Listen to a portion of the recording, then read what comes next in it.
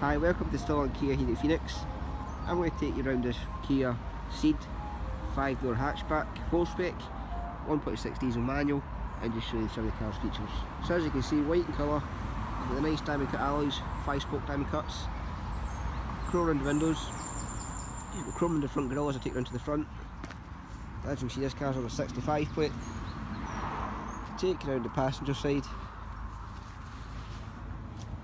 This car benefits from keyless entry keyless start. It's also the nice metallic white colour, as you can see in the sun. Reverse parking sensors, reverse parking camera, which will demonstrate. Very large boot, and 60-40 split should require more space. Into the rear of the car. I'll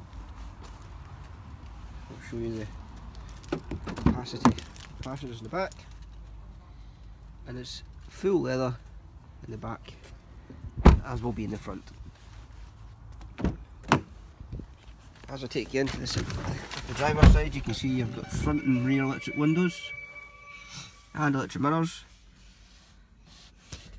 and there to the left hand side you've got a heated steering wheel, multi-function steering wheel, electric handbrake, nice dark and light leather seats which are also heated in the front, dual zone climate control, USB and auxiliary output,